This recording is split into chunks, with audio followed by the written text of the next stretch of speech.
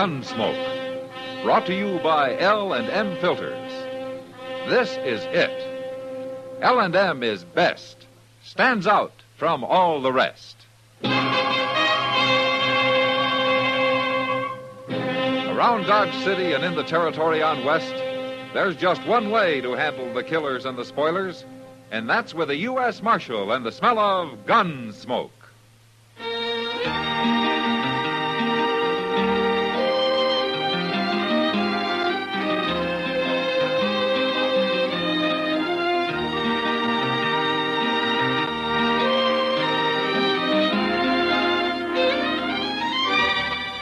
Gunsmoke, starring William Conrad. The transcribed story of the violence that moved west with young America. And the story of a man who moved with it. I'm that man. Matt Dillon, United States Marshal. The first man they look for and the last they want to meet. It's a chancy job, and it makes a man watchful and a little lonely.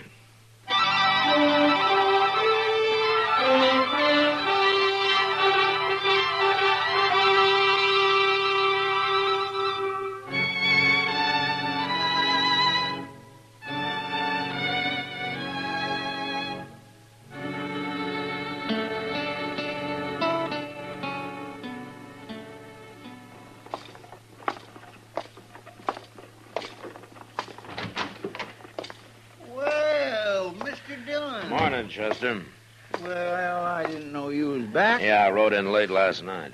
Have a good trip? Well, I ran out of grub and I ran out of water. The last hundred miles got pretty long. My. Yeah.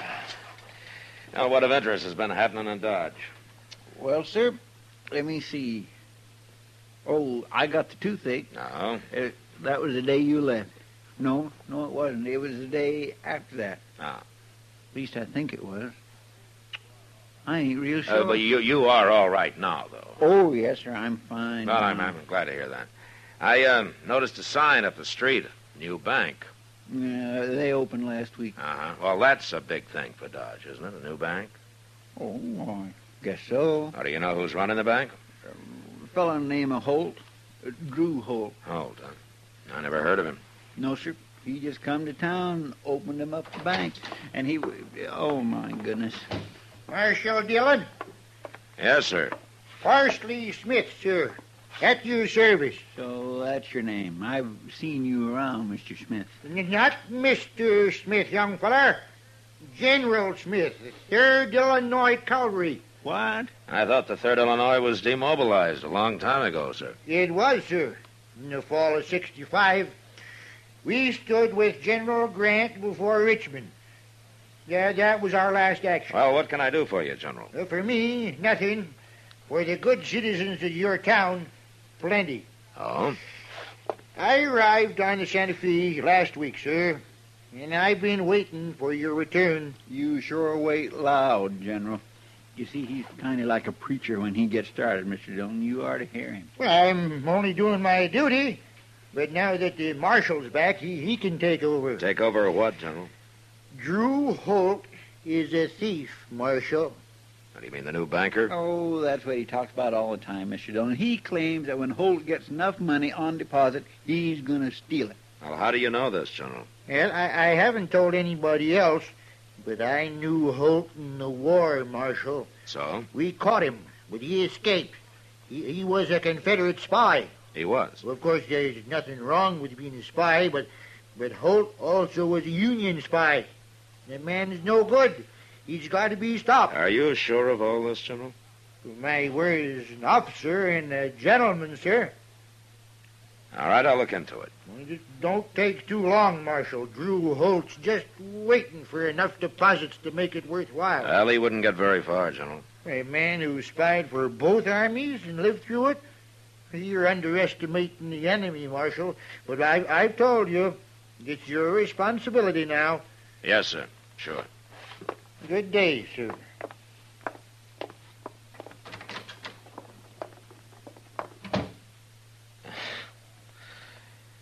Uh, Chester, Yes, sir. about uh, what of interest has been happening in Dodge. Have you figured out just yet which day it was that you got that toothache?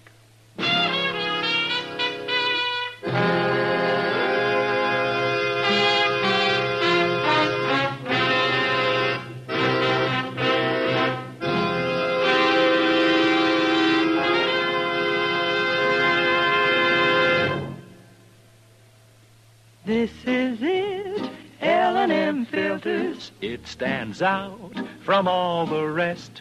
Miracle tip, much more flavor. L&M's got everything. It's the best. L&M is best. Stands out from all the rest. L&M's got everything. Everything? Everything. Best flavor? L&M stands out for flavor.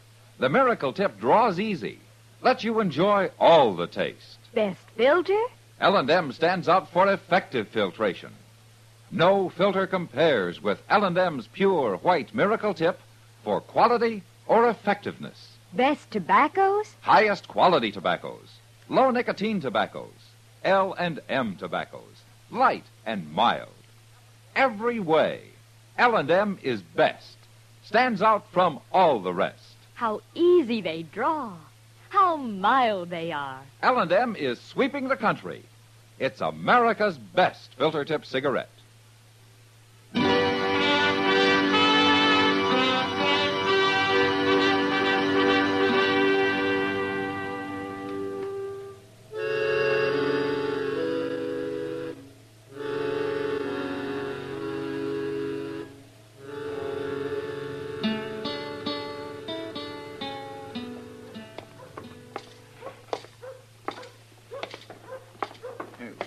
This is the place, Mr. Dillon. Drew Holt? Yes? I'm Marshal Dillon Holt. Uh, this is Chester Proudfoot. I Well. do. This is a pleasure. Have a chair, gentlemen. Thank you. Uh, I heard you were out of town, Marshal. How'd I got back last night? Dodge has grown since you were away, eh? Yes. Well, we're doing fine. Just fine. Except for one thing. No? That crazy old fool, General Smith. I don't know what he's got against me. I never even saw him before, but. Now, you're going to have to lock him up, Marshal. I'm not going to have my bank and my name ruined by a madman. Uh-huh. Um, where you from, Holt? What? I said, where are you from? Why, back east, Pennsylvania. Why? Oh, you look familiar. I thought maybe we'd met somewhere a long time ago. It, uh, couldn't have been in the Army, could it? I wasn't in the Army, Marshal. Ah. Well, it doesn't matter. Oh. What do you want?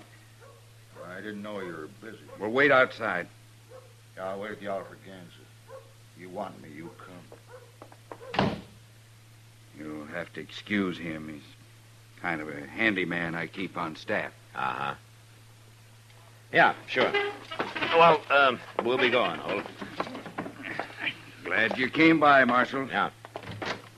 You're. Uh, you're not going to do anything about General Smith? I don't know. But don't you do anything about him.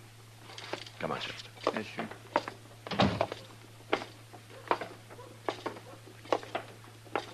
Oh, what do you think, Mr. Dillon? He don't seem so bad to me. Outside of being kindly short-tempered, like when that fellow walked in. You know who that fellow was, Chester? No, sir. His name's Ed Nash. He's a hired gunman from up north.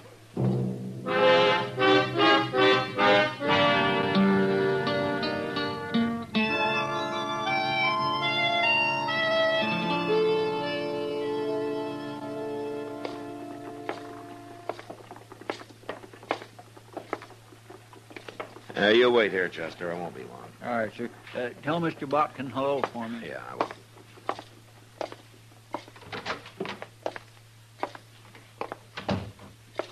Well, if it isn't the marshal, back safe and sound. How are you, Mr. Botkin? Well, can't complain. Sit down, Marshal, sit down. Uh, you're not even complaining about your competition down the street? Holt's Bank? Not at all.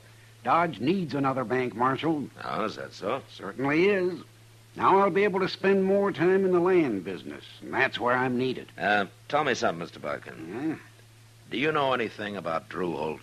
Well, he came to see me the first day he got here, Marshal. Showed me his credentials and his charter. Perfectly sound man. Uh-huh. But a man could fake credentials, couldn't he? Oh, come now, Marshal. You've been listening to that crazy old General Smith. Now, you think he's lying, huh? Why, that old fool lies about everything. He told me he'd fought under Zachary Taylor in the Black Hawk War, and that the last time he saw Taylor was at Harper's Ferry. What do you think of that? Well, that had been some ten years after Taylor died. Mm, Just about. And you can be sure he's lying about Drew Holt, too. Well, I hope you're right. You bet I am.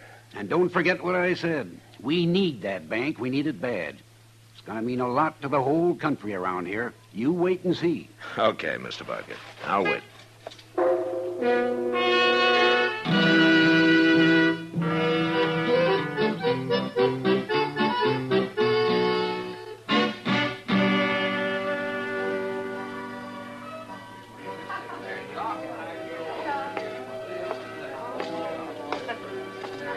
Evening, Kitty. Hello, Matt. Ah, you um, haven't seen General Smith around tonight, have you? He's usually here about this time. You gonna do something about him, Matt? Ah, there's not much I can do, except to tell him to quit talking. Well, if he's got any proof about this, he ought to bring it out. As far as I can tell, he just says Holt's a thief and expects everybody to believe him.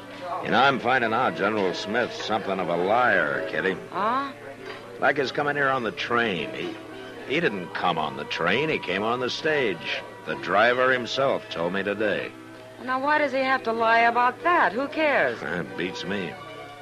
But maybe I'll find out when Doc gets back from the country. What do you mean, that? Uh, General Smith said he was with the 3rd Illinois Cavalry. That's Doc's old outfit. Say now, that'll be interesting. Yeah, but I feel kind of uneasy about it. Well, why? Well, he's a liar, sure, but I'm not sold on this Drew Holt. Oh, he seems harmless enough. A man that hires a gunman like Ed Nash isn't as harmless as he might be, Kitty. I didn't know Nash was a gunman. Well, he is. I seen him up north. He doesn't remember me, though. Well, what's Holt need of a man like that? Well, if you ask him, he'd probably say it was to protect his bank. Mr. Botkin doesn't have gunmen hanging around his bank. No, he doesn't. Oh, well, there you are, Matt. The general's arrived. Yeah. Well, I better go talk to him, Kitty. Get it over with. Come back later, Matt. Uh, yeah, I'll try. Draw me a beer, barkeep. And I could drop a shot of good bourbon in it. Yes. Oh, well. Good evening, Marshal. You join me in a drink? Uh, no, thank you, General. Yeah, I see the new bank is still open. When are you going to close it? I'm not going to. You're shirking your duty, eh? No, not the way I figure it, sir. Drew Holt's credentials are good, according to Mr. Botkin. Eh, Nothing easier than that, especially for somebody as clever as Holt is. He's hired a gunman, General. It could be to take care of you. It'd take more than that to scare a man who stood before the batteries at Vicksburg. Have you ever faced grape shot, Marshal? Look, General, I was your, at- your talk is hurting this town. Now, we need that bank. I was, I was decorated by General Grant himself, Marshal, in in in, in person. Look, your talk can also hurt Botkin's And I- bank. Now, people lose faith in a hurry when they get started. Now, you're not Yeah, helping but- Dodge at all. But I helped win the war, Marshal. That's why they gave me a medal. Will you keep your voice Give down? it to me. Keep your voice down. Now, look, General. Either you prove that Drew Holt is a thief, or you quit talking about him. Now, I mean it. Huh. I'm under fire, eh? Well, that's one way of putting it, General, but you come up with proof, or I'll run you Oh, out of you'll get your proof soon enough, but it'll be too late then. There's no use arguing about it. I've warned you. Now, next time, out you go. If they'd listened to me at Bull Run, there'd never have been no disaster. General, why don't. Now, what's the use? I've warned you. Now you remember it. I'll do my duty as I see fit, Marshal. I always have, and I always will.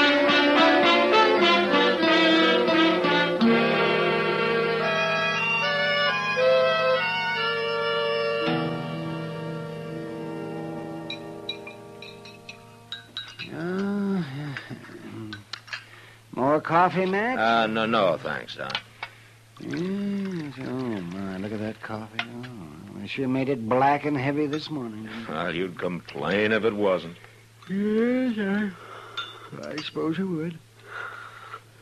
Oh, my, my, my. Delivering babies is some fine way to make a living.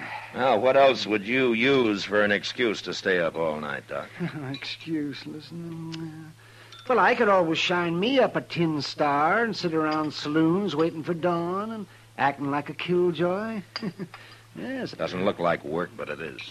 Oh, now, just when I start a good row, you, you get serious on me. I'm sorry, Doc. I guess I'm in a bad mood this morning. Oh? What's the matter? General Parsley Smith? Yeah. You haven't told me anything about him. Well, I want to see him first. I want to talk to him. But you told him to lay off, Matt, so he probably will. Oh, yeah, sure. I bet he will. Uh-huh. Oh, see, I hear Drew Holt bought himself a house out at the edge of town. Mm-hmm. Well, now, that doesn't sound like a man who's planning to run away. No, it doesn't. Mr. Dillon? Oh, hello, Doc. How are you, Chester? General Smith's at it again. He's standing out there in front of Holt's Bank yelling at everybody who goes in. He's telling them they might as well throw their money in the street as put it in there. He'll probably lay off, huh, Doc? Yeah, well, let's go and see him, Matt. All right. You can say hello to him before I run him out of town.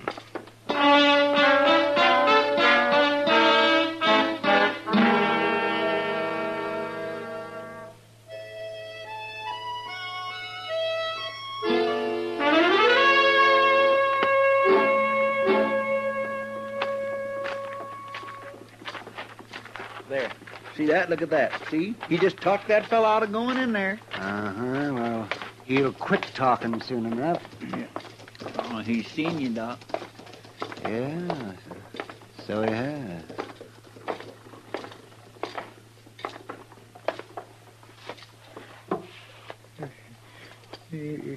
Doc. Doc Adams. Hello, Parsley. Oh, Lord, what, what, what are you doing in Dodge? I live here.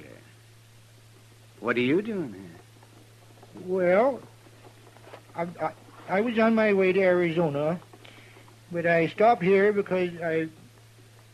Well, I, I guess you heard about Drew Holt and this bank. I thought I told you to lay off Holt, I'm, General. I'm only doing my duty since you won't do yours, Marshal. You're a hard man to convince, aren't you? Well, I've already saved two men from losing their money today. Well, that's all you're going to save. You're through, General. I'm going to give you till noon, and if I see you around after that, I'm going to lock you up. You mean that, don't you? I mean it. All right. I'll go. Now, now wait a minute. Um, Doc, Yes? did you ever hear of Drew Holt in the Army? That's the name he used, isn't it, General? Yeah.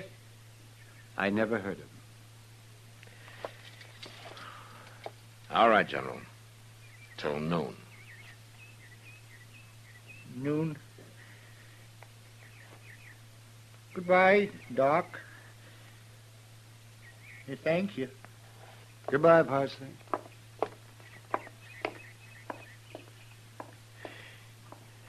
Well, what was the thanks for, Doc?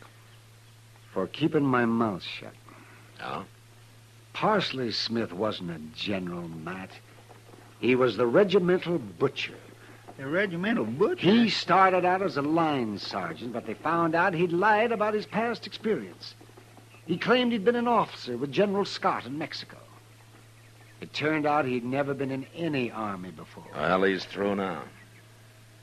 I feel kind of sorry for him, Matt. He, he isn't a bad man. No, he isn't. And I sure hope I'm doing right.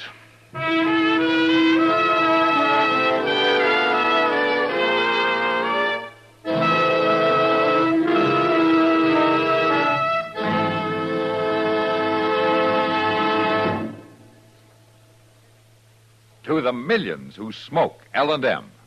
To the millions more who should try L&M. Here is your assurance. L&M gives superior filtration because of its superior filter. Superior taste Because of L&M's superior tobaccos. Yes, L&M tobaccos are tasty, full of flavor, yet light and mild. So buy a pack of L&Ms and take a good close look at L&M Superior Filter, the purest tip that ever touched your lips. It's white, all white. Truly the miracle tip. Because when it's added to L&M Superior Tobacco, it actually tones up the taste, actually improves your enjoyment of this great cigarette. L&M's got everything. Superior taste, superior tobacco, superior filter. That's why it's America's best filter tip cigarette. Try L&M today.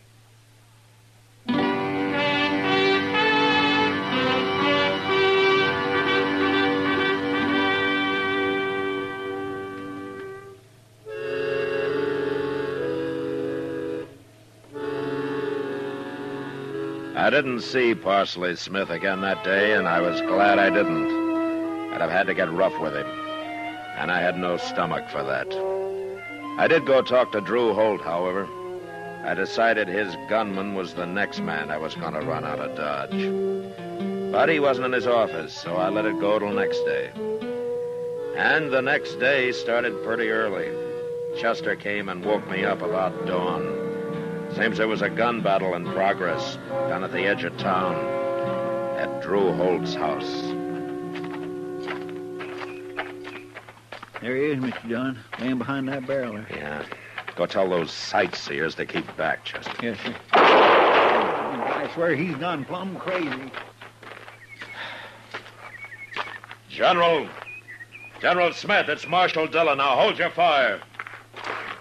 Well, just stay where you are, Marshal. He'll see you. And I, I, I'll come over there. Yeah. Drew, Drew Holt's still alive, Marshal. But I, I, I shot that gunman of his. He's laying dead on the porch over there. I see him. They, they was going to run off tonight, but I was standing guard. I stopped him. Give me your rifle, General. What for? I said to give it to me. Oh, you can take over? Yeah, I'm going to take over. Okay. Here. Now, you're shaking. You've been hit? Oh, no. That Holt couldn't hit nothing. He kind of yelled once, though. I just might have a bullet in him. You better hope you haven't. You're in enough trouble now. You still don't believe me, do you? Doesn't matter what I believe right now. You stay here, General. Holt, it's Marshal Dillon.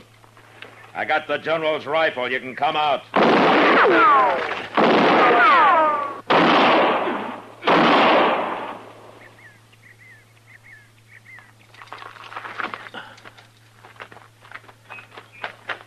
You got it, Mr. Dillon. I heard him yell. Yeah. Go get General Smith, Chester. Bring him up to the house. Yes, sir. Hey, General, come here.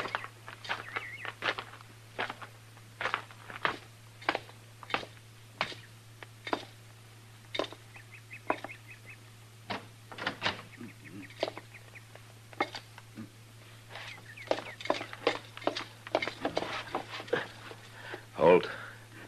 Holt, can you hear me? You got me, Marshal. You did it. Smith winged me, but you did it. Yeah. An old fool. I should have killed him a long time ago. I heard you ran him out of town. I thought we were safe. I sure was wrong, wasn't I?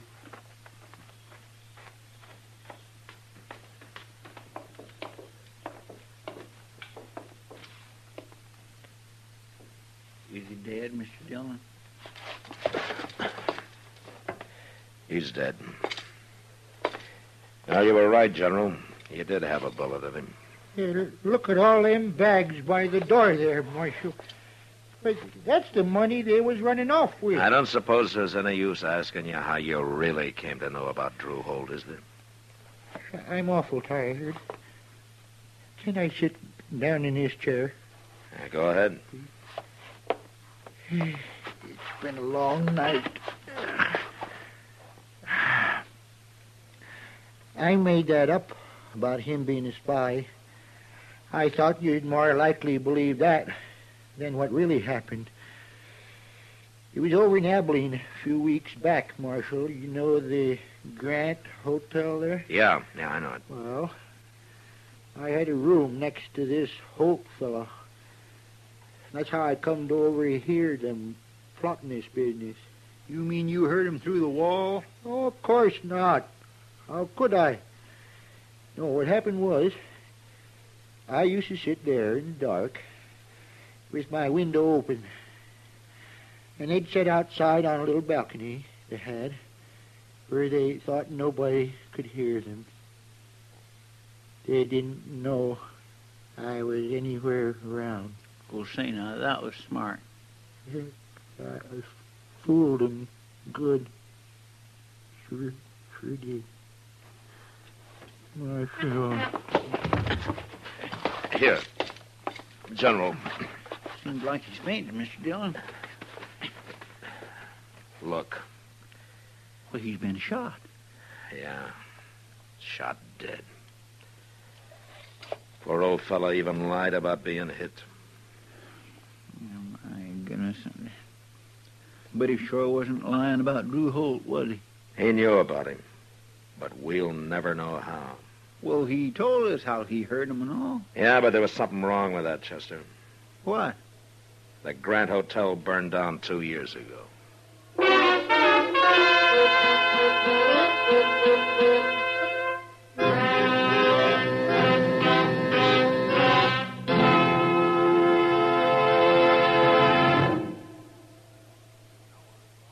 And now our star, William Conrad. Thank you, George. You know what I like about L&M's is they're mild and mighty easy on the draw. When you get right down to it, no filter stacks up with L&M's pure white miracle tip for quality or effectiveness. Darn good smoke. See for yourself. L&M stands out from all the rest.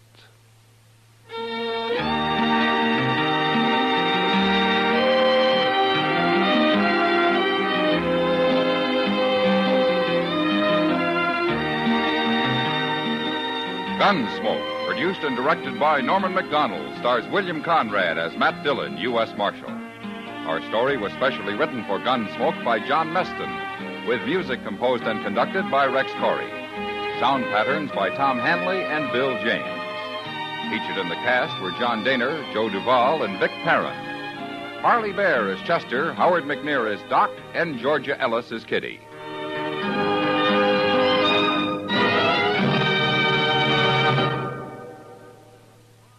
Put a smile in your smoking. Next time you buy cigarettes, stop. Remember, only Chesterfield is made the modern way with Accuray. This amazing quality detective electronically checks and controls the making of your Chesterfield, giving a uniformity and smoking quality never possible before. For the first time, you get a perfect smoke column from end to end.